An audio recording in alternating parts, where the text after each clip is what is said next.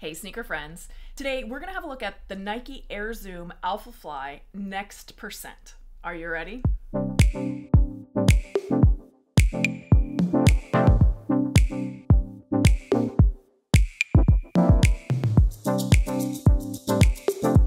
The Nike Air Zoom Alphafly Next Percent was available on Nike's website. It was $275 on their website, but it was only there for a limited time. I unfortunately was not able to get a pair, uh, so I actually went over to StockX and paid way too much money. And I didn't get it in my size either. So, so this is a men's size eight and a half. It was the best I could do because I was really interested in this shoe and learning about it, uh, especially for myself being such a runner. So let's dig into the details. Starting with the outsole, there is a lot going on on the bottom of this shoe. Let's start with the back and work our way to the front. So you do have ZoomX foam that is exposed to the ground, but you also have rubber pads that are inset here. Now the rubber hardness is about 70 Shore A and they're about two millimeters thick. They're exactly in the areas where you're gonna see a lot of abrasion to prevent wearing the shoe wearing out. Now, as you get in the midfoot here, you can see the rubber transition out, the foam transition out, and you have kind of a ledge where you start to see the two airbags sitting.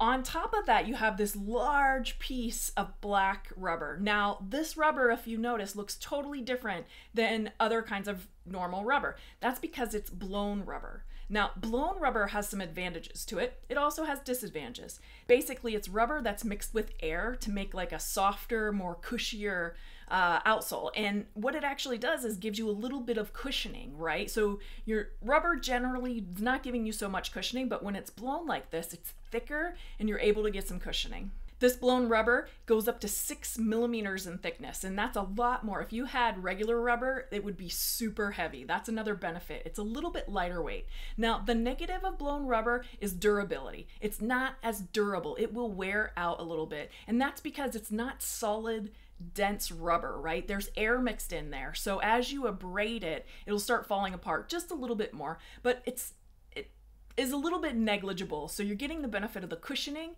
and you're getting the benefit of the lighter weight of it uh, at the expense of durability. The blown rubber, I did measure the hardness and it was about a 64 Shore A, so it is slightly softer, as you can tell, than the 70 Shore A that's in the heel. Now 64 to 70, you might think that's not much of a difference, but when you feel it on the shoe, you can definitely tell the difference. Now that rubber piece does wrap all the way up into the toe. You do have good coverage of rubber on the shoe. The midsole is also where the action is at in the shoe. Actually, it's everywhere in the shoe. So of course you have ZoomX foam all over the place. You have a layer of it on the top.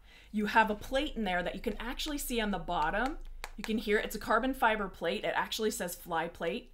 Then you have more ZoomX foam under the plate in the heel.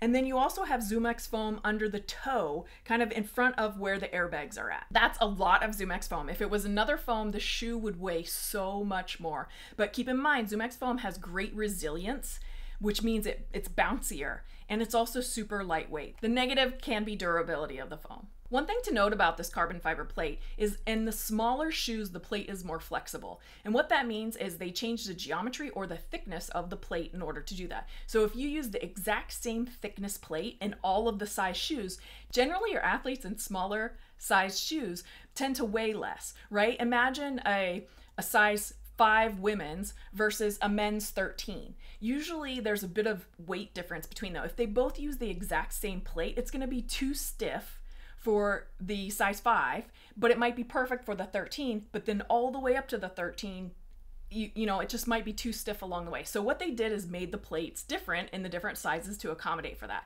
I really love that because that's like size engineering of shoes and I would love to see that more and more. Now the airbags, they do feel pretty firm and there are two airbags in here, Zoom airbags, so they have the fabric in the middle plus air pressure. I don't know what the air pressure is, but they do feel quite firm, so I'm guessing it's a little bit harder of a pressure.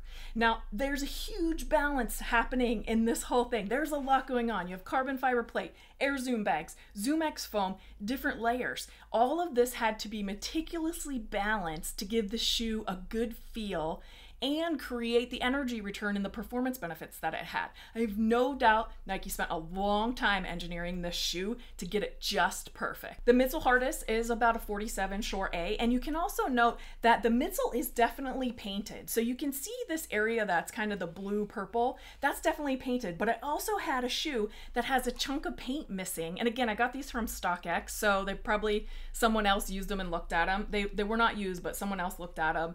Uh, but either way, there's a chunk of paint missing back here, and you can kind of see the foam underneath. Moving to the upper, this upper is very thin, right? This, so what they did is they took, they call it AtomKnit. They took Flyknit and they basically steamed it and stretched it to make it super thin and form to the last. So the last is the shape that the shoe is built around.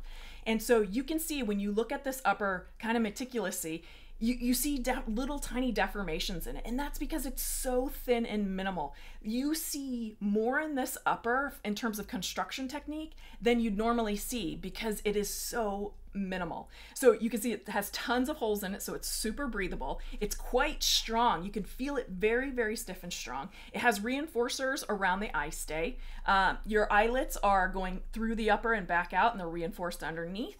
In the heel you have a pretty traditional heel tab same on the tongue. Now, the knit that is in the midfoot and forefoot is different than the tongue knit. The tongue knit is stretchy and kind of your standard traditional Flyknit. In the heel, you can also notice a different pattern of Flyknit back there. So it's pretty fascinating how they're integrating all these patterns together.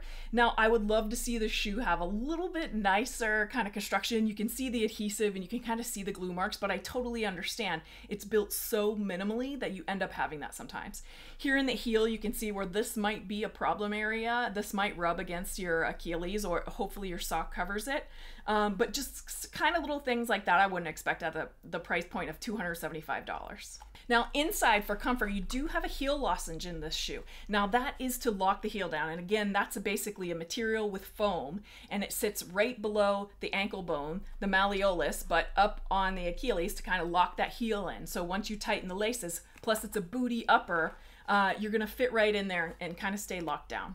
Now the lace is a little bit different. This is, to me, it's either a knit or a woven lace. It actually seems kind of delicate, but it's quite strong. So it's very minimal. Uh, you can see all the fibers in it up close and it is a flat lace, so it should stay tied pretty well. The heel counter is internal, and I'd say it's a medium heel counter. It does go all the way up the ankle, and that's gonna help you with the lockdown. It's also gonna help the transition to this big midsole that's hanging on the bottom.